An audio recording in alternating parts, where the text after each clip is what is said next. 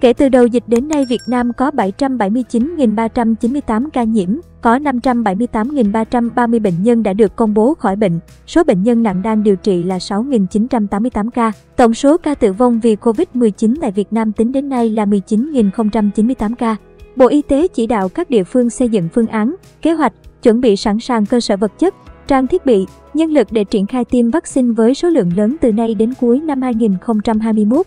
Đẩy nhanh hơn nữa tiến độ tiêm chủng cho các đối tượng từ 18 tuổi trở lên, ưu tiên cho các đối tượng từ 50 tuổi trở lên, đảm bảo an toàn, hiệu quả theo đúng hướng dẫn của Bộ Y tế, tăng độ bao phủ mũi 1 và tiêm mũi 2 cho những đối tượng đã tiêm mũi một đủ thời gian theo quy định. Tổ chức xuất cấp 122 máy thở chức năng cao do Bệnh viện Phổi Trung ương mua từ nguồn ngân sách nhà nước để phục vụ công tác phòng, chống dịch cho các đơn vị để điều trị bệnh nhân COVID-19. Tính đến tối ngày 29 tháng 9, thành phố Hồ Chí Minh có 11 quận huyện công bố kiểm soát được dịch COVID-19, tăng 4 quận huyện so với một ngày trước đó. 11 quận huyện đã công bố kiểm soát dịch gồm thành phố Thủ Đức, các quận 7, 5, 1, 3, Gò Vấp, Phú Nhuận, Tân Bình, các huyện Củ Chi, Cần Giờ, Nhà Bè. Trung tâm Kiểm soát Dịch bệnh thành phố Hồ Chí Minh HCDC cho biết từ cuối tháng 5 đến nay, thành phố đã trải qua 7 lần nâng cấp độ giãn cách theo hướng lần sau cao hơn lần trước. Tính đến nay, thành phố Hồ Chí Minh đã có hơn 80 ngày giãn cách theo chỉ thị 16 của Thủ tướng.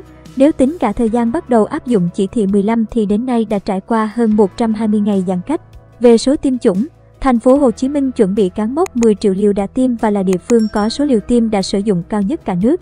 Dự kiến sáng nay ngày 30 tháng 9, thành phố Hồ Chí Minh sẽ tổ chức họp báo thông tin tình hình dịch bệnh, biện pháp phòng chống dịch, phục hồi kinh tế xã hội áp dụng từ ngày mai mùng 1 tháng 10.